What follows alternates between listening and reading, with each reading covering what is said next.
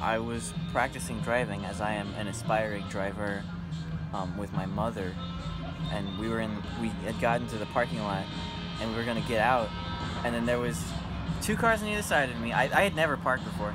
There were two cars on either side of me, people with a cart behind me, like two groups of people, and then I started to get out, and it was curved parking spot, and I started to get out, and my mom yelled at me, "No, the other way!" And so I went the wrong way, and then she jerked the wheel from me, and I freaked out, and then we got out though. It's okay.